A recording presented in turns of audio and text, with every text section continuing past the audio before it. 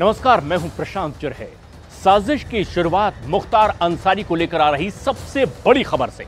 मुख्तार अंसारी की मौत के बाद सबकी नज़र उसके साम्राज्य पर टिक गई है, यानी उसकी बेतहाशा प्रॉपर्टी पर। मुख्तार अंसारी की संपत्ति कितने करोड़ की है या अरबों रुपए की है, आप इसका सच जानेंगे तो चौंक जाएँगे। लेकिन इससे भी बड़ा सवाल यह है कि मुख्तार की मौत के बाद उसकी सल्तनत को अब आखिर संभालेगा कौन? क्या मुख्तार ने कोई ऐसी वसीयत भी इसके लिए तैयार की है?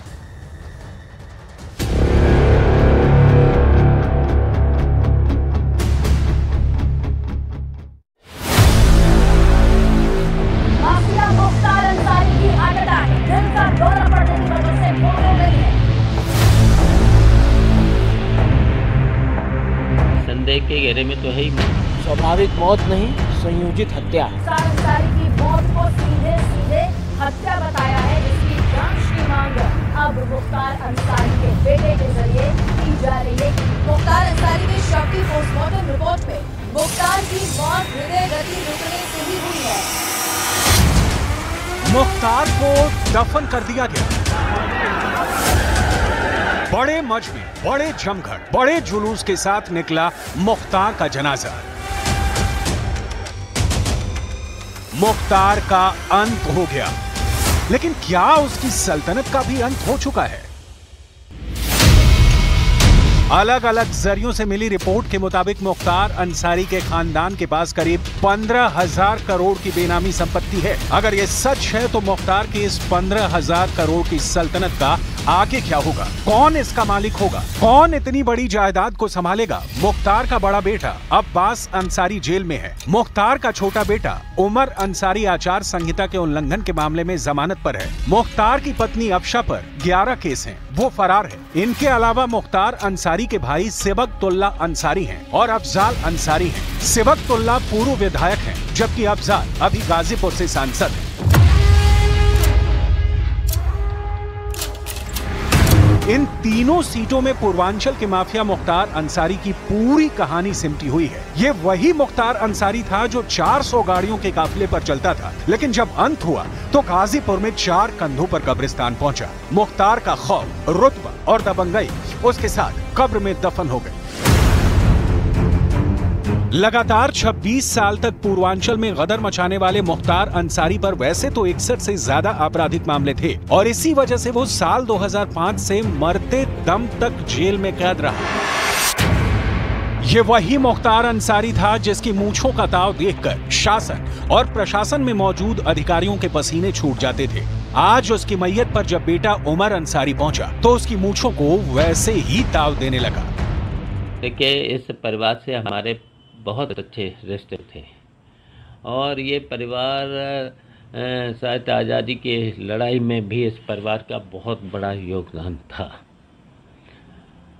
तो देखिए, इनकी मौत संदेह के घेरे में है। तो देखिए न्यायालय को इसमें स्वयं रुचि लेना चाहिए। अगर जेल में किसी की मृत्यु होती है तो उसकी ज़िम्मेदारी प्रशासनिक अधिकारी जेल से लेकर के सरकार से लेकर सबकी ज़िम्मेदारी है। वो कोई दयालु सज्जन नहीं थे। वो एक डॉन माफिया का टैग था। ऐसी बहुत सारी घटनाएँ जो कईयों की हत्या से लेकर उग्राही तक से लेकर बहुत गंभीर मामलों में उनको जेल हुई थी। और जेल में उनकी मृत्यु हुई है, हार्ट अटैक से, मेडिकल रिपोर्ट कहती है। किसी ने न्यायिक जाँच मांगी तो उसमें न्यायिक जाँच मिलने में भी कोई गुनाह नहीं है। वो भी हो जाए, लेकिन सच्चाई ये है, एक डॉन और माफिया युग का अंत हुआ। है मुख्तार अंसारी और उसके रिश्तेदारों की पंद्रह हज़ार करोड़ की प्रॉपर्टी अलग अलग रिपोर्ट से बताई जाती है, लेकिन कागज़ पर मुख्तार अंसारी के पास क्या था, वो देखिए। 2014 में लोकसभा चुनाव के वक्त दायर हलफनामे में मुख्तार अंसारी ने 18 करोड़ की संपत्ति बताई थी। 2017 के विधानसभा चुनाव के दौरान हलफनामे में बताया कि उसके परिवार के पास सत्तर लाख का सोना है, बीस करोड़ की प्रॉपर्टी है और बैंक में कुल बाईस करोड़ रूपए है। आज की तारीख में मुख्तार अंसारी के नाम सिर्फ़ एक बैंक अकाउंट है। उसमें एक दशमलव दो पाँच लाख रुपए की रकम जमा है। हालाँकि इसके पत्नी और बच्चों के नाम पर छह बैंक खाते हैं और उनमें दस लाख रुपए से ज़्यादा की रकम है। लेकिन दूसरा सच ये है कि मुख्तार अंसारी और उसके गैंग के सदस्यों पर अब तक 155 एफआईआर दर्ज हुई। 600 करोड़ की संपत्ति जब्त हुई, जबकि 2100 करोड़ से ज़्यादा का अवैध कारोबार बंद किया जा चुका है। किसी ने कहा है कि कफन में जेब नहीं होती, इंसान अकेला आता है और अकेला ही वापस जाता है। मुख्तार भी ये जानता था। हालाँकि उसकी प्रॉपर्टी बहुत से जिलों में फैली हुई है। कई बेनामी संपत्ति है, कई रिश्तेदारों और दूसरे लोगों के नाम पर बनाई गई है। किसी पर कब्जा हुआ, किसी को ज़बरदस्ती औने पौने दामों में खरीद लिया गया। उत्तर प्रदेश में मुख्तार की 650 करोड़ की संपत्ति जब्त हो चुकी है, या फिर ध्वस्त कर दी गई है। साल 2020 में गाजीपुर में मुख्तार का गज़ल होटल ढहा दिया गया। यह गाजीपुर में मुख्तार के ऑफ़िस की तरह था। इसके बाद मऊ के गाजीपुर तिराहे पर मुख्तार की आलिशान बिल्डिंग भी गिरा दी गई। अब वहाँ खंडहर बचा है। 2021 में मऊ में भीटी चौराहे पर मुख्तार के खास माने जाने वाले उमेश सिंह की तीन मंजिला बिल्डिंग पर भी बुलडोजर चला। 2022 में मऊ सदर से जीते मुख्तार के बेटे अब्बास अंसारी का घर भी ढहा दिया गया। चार साल के अंदर मुख्तार की 650 करोड़ की प्रॉपर्टी पर सरकार कार्रवाई कर चुकी है। इसमें दो सौ इक्यानवे करोड़ की संपत्ति जब्त की गई, जबकि दो सौ पचासी करोड़ की प्रॉपर्टी पर बुलडोजर चला। बाकी प्रॉपर्टी पर अलग अलग लेवल पर कार्रवाई चल रही है। सिर्फ़ मऊ में ही मुख्तार की 200 करोड़ की संपत्ति पर बुलडोजर चला है। पुलिस और ईडी अब भी गाजीपुर, मऊ, वाराणसी, लखनऊ के अलावा पूर्वांचल के कई जिलों में मुख्तार की प्रॉपर्टी तलाश कर रही है। अभी दो दिन पहले गाजीपुर के लोकसभा के member of parliament Afzal Ansari साहब को मुख्तार अंसारी ने बताया था कि उनकी किसी भी वक्त हत्या हो सकती है, क्योंकि उनको कुछ अहम मामलों में पेशी होना है, जिसमें कुछ लोग मुलजिम साबित होने हैं। हम मांग करेंगे कि इस पूरे प्रकरण की एक निष्पक्ष तरीके से जाँच कराया जाना चाहिए कि आखिर उनकी सेहत के मामले में उनकी जो ये मौत हुई है, उसका सच क्या है। बाबा की आशीर्वाद है। जय आज मैं हमेशा बाबा के दरबार में न्याय के लिए करती थी, आज न्याय मिला है हमको।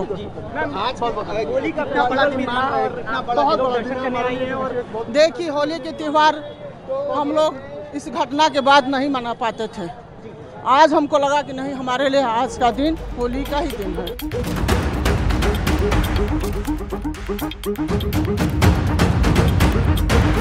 1990 के दशक में मुख्तार अंसारी जब राजनीति में आया तो उसके पास Maruti Gypsy, Tata Safari, Ford Endeavour Pajero Sport और बीएमडब्ल्यू जैसी गाड़ियों का शानदार कलेक्शन था। उसके पास एक बुलेट मोटरसाइकिल, एक एम्बेसडर कार और एक जीप भी थी। उसकी ज़्यादातर गाड़ियों का नंबर सात सौ छियासी हुआ करता था। ऐसे में सवाल है कि बैंक खातों में कुछ लाख रुपयों का होना क्या बताता है? क्योंकि आज भी मुख्तार का परिवार महँगी महँगी गाड़ियों से चलता है।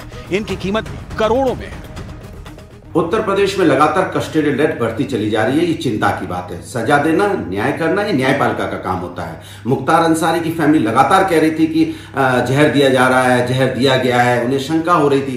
तो इस पर उसी समय कार्रवाई करनी चाहिए थी। आखिर उस पर कार्रवाई क्यों नहीं हुई? ये एक, एक सवाल उठता है। दूसरा सवाल उठता है कि कोई भी अगर न्यायिक हिरासत में है तो उसको सुरक्षित रखने की ज़िम्मेदारी भी सरकार की होती है, क्योंकि सजा तो और न्याय तो न्यायपालिका देगा। उसकी स्थिति बहुत अच्छी नहीं रही है। ऐसी स्थिति में इस प्रकार का आरोप लगाना कि उसे जहर दे दिया गया है या उसे मार दिया गया है, मैं समझता हूँ कि ये सर्वथा निर्मूल है और इसे खंडन किया जाना चाहिए। मुख्तार अंसारी एक क्रिमिनल था, एक डॉन था, एक माफिया था और उसकी मौत पर कोई बहुत ज़्यादा विचार नहीं करने की आवश्यकता है। उसकी एक नेचुरल मौत हुई होगी।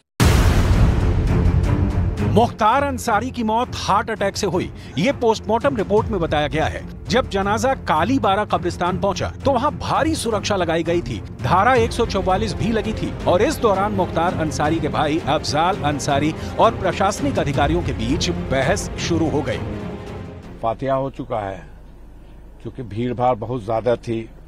ओवर क्राउड हो जाने की वजह से कुछ मुश्किलें आई लेकिन धीरे धीरे सब कुछ खैरियत से हो गया। जो समर्थक आए थे उनको क्या अपील करेंगे? जो कुछ नहीं वो सब मट्टी आज दे लें कल दे ले जब चाहे आके फातिया पढ़ लें मजार पे मत्ती डालने और फातिया पढ़ने से कौन सी रोक है? लेकिन एक बार एक साथ जाके हुल्लड़बाजी ये मुनासिब नहीं है। समर्थकों से क्या अपील करेंगे? जो उनके जो आए थे काफ़ी बड़ी संख्या में उनसे क्या अपील करते हैं? किस तरह की अपील करते हैं? शांति व्यवस्था बना कर रखें और जिन लोगों ने हुड़दंग करने का प्रयास किया है सभी की वीडियोग्राफी हुई है ऐसे लोगों को चिन्हित किया जाएगा जिनके द्वारा आचार संहिता का उल्लंघन करके किसी तरह की नारेबाजी की गई है उनके विरुद्ध कार्रवाई की जाएगी बाकी सब शांतिपूर्ण हो गया। पाँच बार विधायक बना। पैंसठ से ज़्यादा आपराधिक मामले दर्ज हुए। जेल के अंदर रहते हुए भी जमकर पैसा कमाया और रुतबा बढ़ाया। और फिर एक केस ने उसकी ज़मीन कमज़ोर करनी शुरू कर दी। मुख्तार का ग्राफ तब गिरने लगा जब 2005 में बीजेपी विधायक कृष्णानंद राय की हत्या हुई। मुख्तार अंसारी पर हत्या का आरोप लगा। उस वक्त भी वो जेल में बंद था, लेकिन मुख्तार को इस हत्याकांड का मास्टरमाइंड माना गया और तब से ये केस जारी है। माफिया मुख्तार अंसारी का जेल में मृत्यु हो चुकी है। जैसा कि वहाँ के डॉक्टरों के पैनलों ने बताया कि मृत्यु हार्ट अटैक से हुई है। पर मेरा व्यक्तिगत तौर से ये मानना है कि आज बाबा गोरखनाथ के दरबार में भले ही देर है और अंधेर नहीं है और इसको मैं ये भी एक तरीके से देख सकता हूँ कि इस रमज़ान के पावन पर्व पर, इस पावन महीने में ये अल्लाह का मैं न्याय कहूँ या भगवान का न्याय कहूँ, क्योंकि मेरे लिए दोनों एक ही हैं। जिस तरीके से जुडिशियल कस्टडी में, थानों के अंदर, जेलों के अंदर लोग मर रहे हैं या उनको मारा जा रहा है, उसमें उत्तर प्रदेश कहीं ना कहीं नंबर वन श्रेणी में आ रहा है। स्पष्ट रूप से कानून व्यवस्था का मामला है, भ्रष्ट कानून व्यवस्था है। मुख्तार अंसारी ने कुछ समय पहले ही धीमा जहर देने जाने का आरोप लगाया था। उसके बाद भी प्रशासन ने कोई संज्ञान उसका नहीं लिया। इसकी उच्च स्तरीय न्यायिक जाँच होनी चाहिए। कृष्णानंद राय हत्याकांड से पूरा पूर्वांचल दहल उठा था। यही वारदात मुख्तार अंसारी के लिए काल बन गई। अंजाम ये हुआ कि वो कभी भी जेल से बाहर ही नहीं आ सका। कृष्णानंद राय की हत्या सामान्य हत्या नहीं थी। कहा जाता है कि हमलावरों में से एक हनुमान पांडे ने कृष्णानंद राय की चुटिया काट ली थी।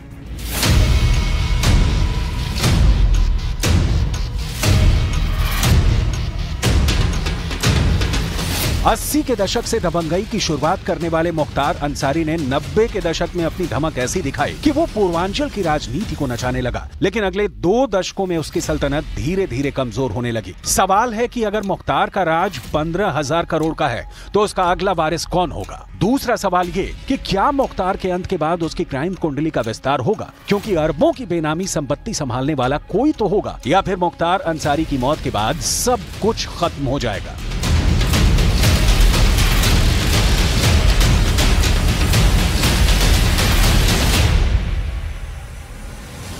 कल दिल्ली में